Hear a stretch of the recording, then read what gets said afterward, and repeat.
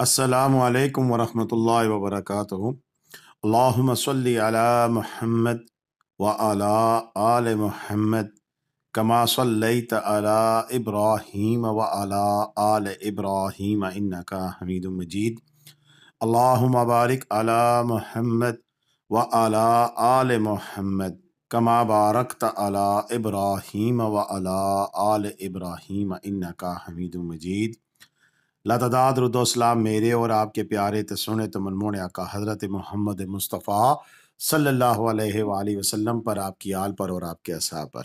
जी अज़ीज़ दोस्तों, आज एक बार फिर आपसे हम मुखातब हैं और मरी के खूबसूरत तरीन नज़ारे आपको ताज़ा तरीन दिखा रहे हैं। और ये वीडियो क्लिप हमें भेजा है ओनली फॉर यू से।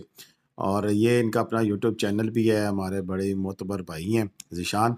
और ये इनका चैनल पे भी आप ताज़ा तरीन अपडेट दे सकते हैं, लेकिन ये हमारे लिए भी, आप सब के लिए भी वीडियोस बनाकर भेजते हैं तो इनका शुक्रिया। और साथ साथ आज हम आपको बताते चलेंगे कि इस वक्त मरी की मार रोड की क्या सिचुएशन है। लोग पूछते हैं कि क्या वहाँ पर कोई बर्फ़ पड़ी हुई मिल जाएगी? तो उसके हवाले से भी आपको अपडेट देंगे कि बिल्कुल वहाँ पर बर्फ़ पड़ी हुई मौजूद है और आप देख सकते हैं। और साथ साथ उसमें हम आपको ये भी बताएँगे कि आंदा आने वाले दिनों में किस वक्त बर्फबारी मुमकिन है और क्या अगर आप इस वक्त जाते हैं तो होटल्स के रेंट वगैरह क्या हैं ये सारी डिटेल होगी। लेकिन साथ साथ हम आपको यहाँ से जिशान भाई की जो क्लिपिंग है वो भी दिखाते हैं कि उन्होंने वहाँ से हमें क्या अपडेट भेजी है। इसके बाद फिर हम अपनी वीडियो का आगाज़ करेंगे। आ, लेकिन आपसे दरख्वास्त ये भी करते हैं कि जिन दोस्तों ने हमारा यूट्यूब चैनल अभी तक सब्सक्राइब नहीं किया हुआ बर मेहरबानी हमारा चैनल सब्सक्राइब कर लें।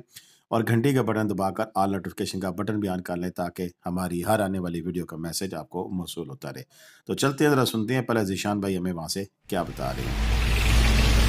असलकुम यार, ये मैं जनरल बस स्टैंड के पास हूँ।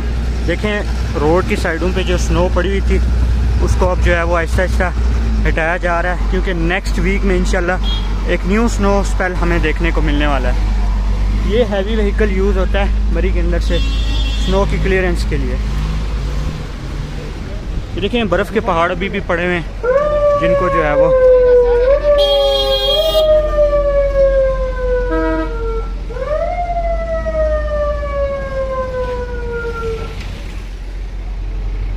इंशाल्लाह अपकमिंग वीक पे स्नो एक्सपेक्टेड है मरी के अंदर।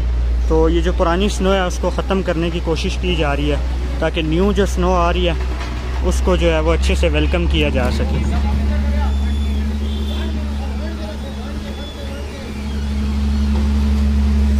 माशाल्लाह मरी इंतज़ामिया के पास हैवी व्हीकल हैं स्नो के साथ निपटने के लिए।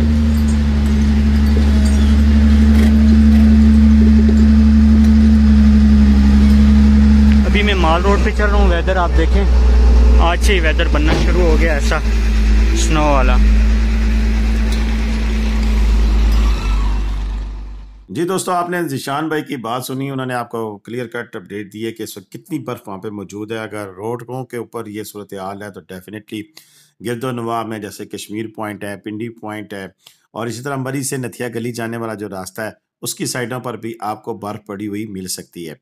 और आंदा आने वाले दिनों में हम आपको बताते चलें कि बहुत अच्छा चांस है सत्रह अठारह को और हो सकता है कि ये इस साल की आखिरी मरी की बर्फबारी हो। नथिया गली में तो मज़ीद बर्फ़ पड़ने के चांसेस भी मौजूद है।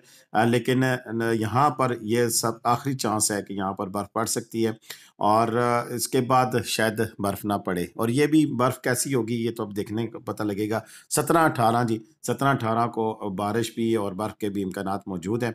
और उसके बाद फिर हम देखेंगे कि आइंदा नेक्स्ट क्या होना है और क्या नहीं होना है। लेकिन अभी तक की अपडेट यही है कि एन मुमकिन है कि सत्रह और अठारह को यहाँ पर बर्फ़ पड़ जाए। और अगर यहाँ ना पड़ी तो कम अज़ कम एटलीस्ट गलियात में लाजमी मेरा ख्याल है कि पढ़नी है। और सत्रह अठारह को वहाँ पर एक फेस्टिवल भी आ रहा है, स्नो फेस्टिवल है गलियात डेवलपमेंट अथॉरिटी की जानब से। तो गलियात में अच्छा खासा अल्लाह गुल्ला होगा सत्रह अठारह का। हो सकता है कि मैं भी वहाँ पर मौजूद हूँ। अभी तक दावत नहीं आई, अगर उन्होंने दावत दी तो ज़रूर जाऊँगा। तो बिल्कुल जी, ये ताज़ा तरीन अपडेट थी यहाँ की और साथ साथ अगर रूम रेंट की बात करें तो रूम रेंट में देखें नॉर्मल रूम आपको पैंतीस सौ चार हज़ार रुपये में मिल रहा है, रश नहीं है इस वक्त। लेकिन अच्छा रूम जो सा है वो आपको पाँच से छः हज़ार रुपये में मिलेगा, जिसमें आपको ईटिंग सिस्टम भी मिलता है, इसके अलावा आपको वाईफाई भी मिलता है। तो ये एक अच्छा सेटअप जो सा है, वो आपको तकरीबन चार से पाँच हज़ार रुपये तक अवेलेबल होता है। अच्छा बाकी अगर हम बात करें मरी के हवाले से कि मरी की मार रोड के जो होटल हैं और साइड के होटल्स उनसे हैं, उनमें रेट में फ़र्क है? तो जो, बिल्कुल फ़र्क होता है। जारी सी बात थोड़ा सा हट के अगर आप रूम लेंगे मार रोड से तो वो आपको सस्ता मिलेगा मार रोड के ऊपर थोड़ा सा महँगा मिलता है।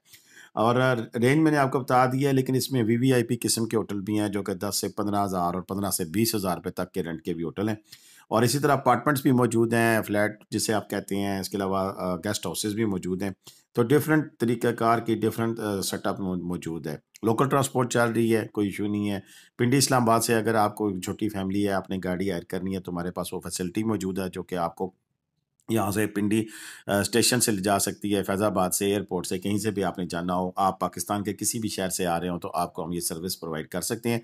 और होटल की बुकिंग ऑनलाइन अगर आपने करानी है तो वो भी मुमकिन है, और अगर आप वहाँ जाकर होटल देख कर बुक कराना चाहते हैं तो वो भी मुमकिन है। तो गोया, हर किस्म की सहूलत इन हम आपके साथ प्रोवाइड करने के तैयार है। इस वक्त स्क्रीन पर हमारा नंबर मौजूद है, और आप हमसे व्हाट्सएप पर रबता कर सकते हैं इन हम आपको पूरी तरह गाइड भी करेंगे और अकोमोडेट करने की भी कोशिश करेंगे। एक चीज़ यहाँ पर मैं क्लियर करता चलूँ, चाहे वो गाड़ी की बुकिंग हो या होटल की बुकिंग तो उसमें आपको एडवांस पे पेमेंट करनी पड़ेगी, उसके अलावा बुकिंग तस्वर नहीं की जा सकती। अक्सर लोग कहते हैं बस ये बुकिंग करा दें हमारी तो ऐसे बुकिंग नहीं होती है। ये जो हमारे सयाह हजरात हैं, उनके साथ काफ़ी सारे इश्यूज़ बनते हैं। उनकी मेन वजह यही होती है कि वो होटल को, में फ़ोन करते हैं, होटल वालों को कहते हैं, जी, फलां दिन हम आ रहे हैं। तो बस कर देते हैं। वो वो भी आगे से क्लियर नहीं करते हैं कि इस तरह बुकिंग नहीं होती है। बुकिंग आप पेमेंट करेंगे तो होगी पेमेंट करने के बाद रसीद लें और रसीद के बाद फिर आप उस होटल में चले जाएँ तो कोई इशू नहीं होता। आज की ताजरीन अपडेट यही थी। इंशाल्लाह मजीद अपडेट्स के साथ आपके साथ हाजिर होते रहेंगे। आप तक के लिए इतना ही था। इजाज़त दें। पाकिस्तान जिंदाबाद, पाकिस्तान पाइंदाबाद। जीते रहें, खुश रहें, आबाद रहे। अपनी दुआ मुझे याद रखिएगा। अल्लाह हाफिज़।